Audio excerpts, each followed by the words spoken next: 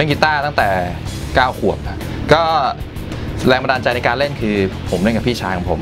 ก็พี่ชายผมเล่นกีตาร์โปร่ง ผมก็รู้สึกว่าผมทำไมมันเล่นแล้วดูดีจังอะไรอย่างเงี้ย ผมก็เลยอยากลองฝึกดูบ้าง แต่ฝึกไปฝึกมาเริ่มชอบขึ้นมาจริง ๆ จังๆ ก็เผอิญมหนึ่งมสองเนี่ยผมผมเข้าโรงเรียนมัธยมแล้วประมาณนี้ แล้วเราไปมีวงกับเพื่อนอย่างนี้ราคานี้เริ่มแบบ อยากจะฝึก skill ที่มันสูงขึ้น เราก็เริ่มเล่นขึ้นมาเรื่อยๆ จนถึงบัดนี้ครับปล่อยความมาเรื่อย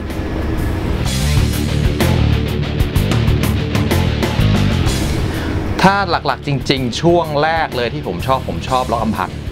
เป็นช่วงนั้นกำลัง peak มากๆพอดีชอบเจี๊ยบพิสุทธิ์เป็นคนแรกที่ผมรู้สึกถือกีตาร์เท่มาก หลังๆมาหลังจากพิสุทธิ์มานี่ผม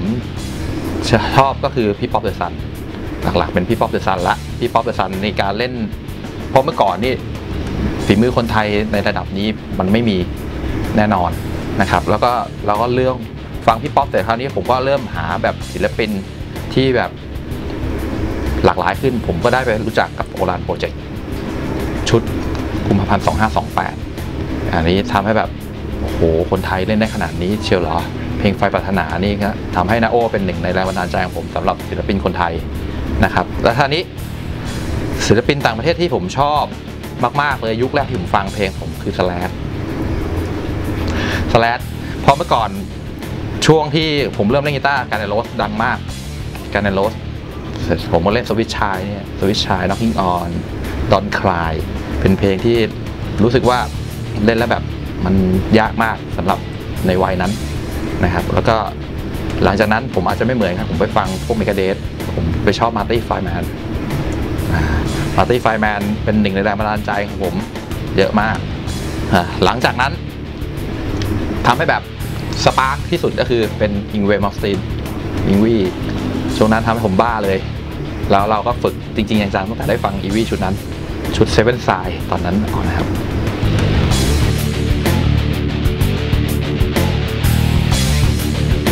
คือจริง ๆ แล้วมันไม่แน่นอนเสมอไปนะครับว่าเราจะเริ่มจากอะไรก่อน ดนตรีมาก่อน หรือว่า lick กีตาร์มาก่อนมันไม่แน่เสมอไป เพราะว่าในช่วงนั้นๆเนี่ยเพอเอิญถ้าเกิดผมฟังเพลงแล้วผมเกิด spark ขึ้นมาเนี่ยผมก็อัดกีตาร์เป็น lick ขึ้นมาก่อนเลย เป็นลักษณะเหมือนแบบว่าแรงบันดาลใจในตอนนั้นเนี่ยเราฟังงานอะไร สมมติผมถ้าเกิดฟังงาน metal หรือ Angra อะไรพวกนี้ ผมอาจจะเป็นคิด lick ขึ้นมาก่อน แล้วผมก็อัดบันทึกเก็บไว้ในหลายๆอย่างหรือถ้าเกิดเป็นโซโล่หลักๆ ผมอาจจะคิดเป็น lick solo ขึ้นมา แล้วผมก็เก็บไว้แล้วคราวนี้ถ้าเกิดมันสามารถนำมารวมด้วยกันได้เนี่ยมันก็เริ่มมากลายเป็นหนึ่งยาวขึ้นมาแล้วเป็นส่วนหนึ่งของเพลงได้ละแล้วคราวนี้เราก็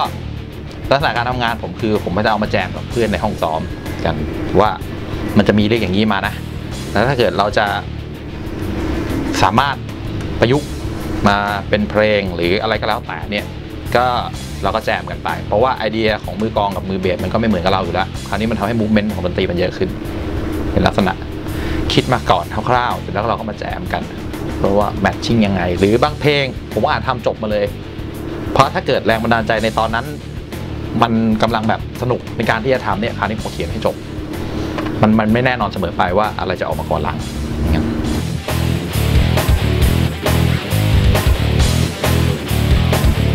จริงๆ ผมชอบกีตาร์ Fender ผมที่ผมอยากได้จริงๆ คือ Fender ปีเก่าๆ 60 70 ศูนย์แบบสภาพดีๆ ซึ่งหายาก เคยหลุดมาตัวหนึ่งผมก็ปล่อยไปแล้ว จนผมเสียดายจนถึงเดี๋ยวนี้ อ่า เป็นหัวโตคอขาวสีซันเบิร์ดอ่าปี70อ่าอ่าใครมีก็นำเสนอได้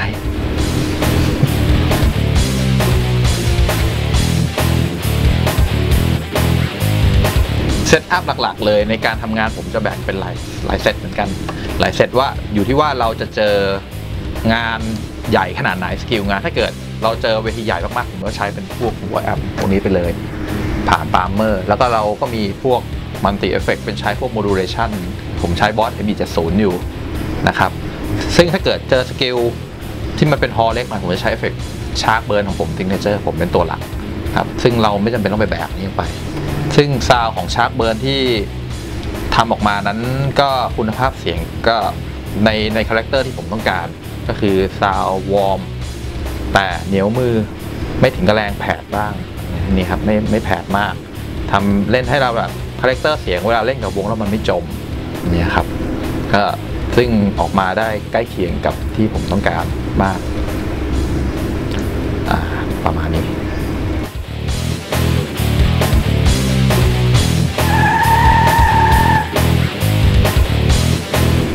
ผมชอบเพลง Number Lane ของ Slash กันใน Roses อ่าเพราะว่าผมชอบท่าโซโล่เขาบนเปียโนเขาเป็นคนที่ถือกีตาร์สะพายLes Paul และเท่สุดในโลกสำหรับ Slash นะครับแล้วก็โซโล่ของเขาในช่วงที่ออกมาช่วงนั้นเป็นช่วงที่มือ guitar hero เขาแบบ peak กันมาก แต่ Slash นี่เขาเน้นสำเนียงมา แล้วมันทำให้แบบมันเท่ และเพลงโซโล่หวานบาดใจเมโลดี้ไม่ได้ยากอะไรเลย แต่เพราะมากเพลงก็มี movement ดนตรีที่หลากหลายนะครับ แล้วก็ผมอีกเพลงที่ผมชอบมาก ๆ ที่สุดเลย Bohemian Rhapsody ของวงควีน I see a little silhouette of a man. Scaramouche, Scaramouche, will you do the fandango?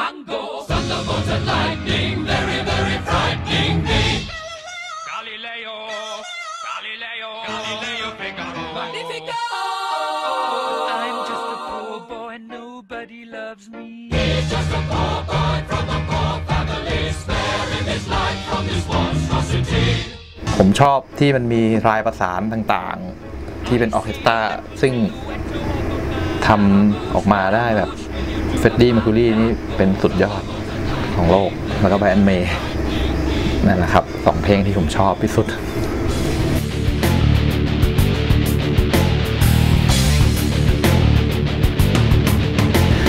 คือมันเป็นช่วงหนึ่งช่วงช่วงหนึ่ง ในการฝึกของผมคือถ้าเกิดช่วง ที่เรายังฝึก skill ต่างๆ อยู่นี่ผมจะพยายามหา lick ต่างๆ ของศิลปินที่ชอบ คือผมจะไม่ตายตัวว่าผมต้องฝึกเป็นสไตล์หรือยังไง ผมจะฟังให้กว้างๆดีกว่า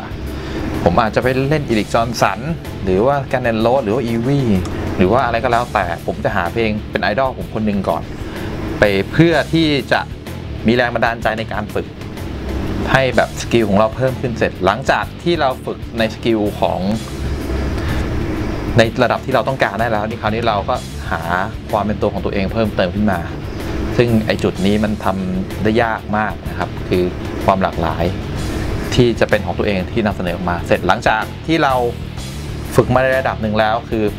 พยายามที่จะคิดงานเป็นของตัวเอง คือการฝึกที่ดีที่สุดคิดงานเป็นของตัวเอง แล้วก็นำเสนอผลงานของตัวเองออกมาที่เราได้เรียนรู้ต่างๆ เพราะว่า การเล่นก๊อปปี้กับการคิดเองมันต่างกันเยอะ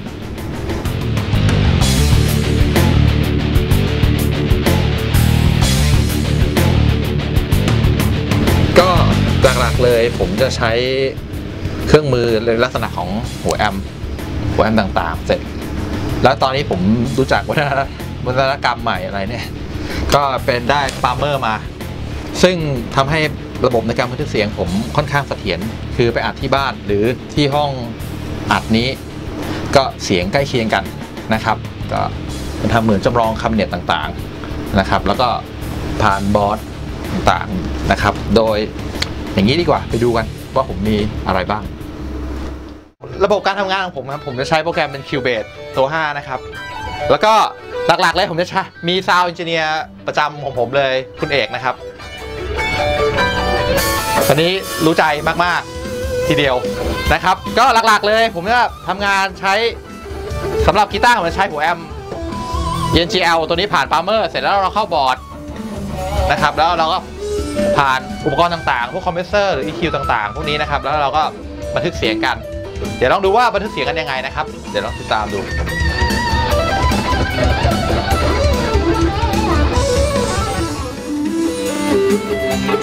็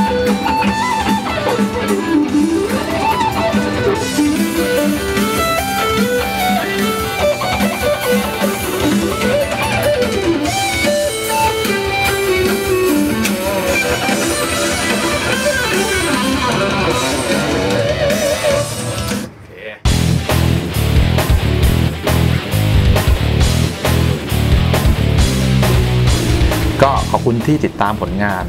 ต่างๆนะครับ ก็ผมอาจจะเป็นหนึ่งในแรงบันดาลใจของหลายๆคน หรือว่าทำให้เกิดมีไฟในการเล่นที่เห็นผมเล่น หรือว่า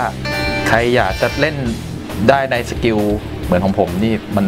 เพราะว่าผมใช้เวลาในการฝึกมาเยอะ การจะเล่นให้ได้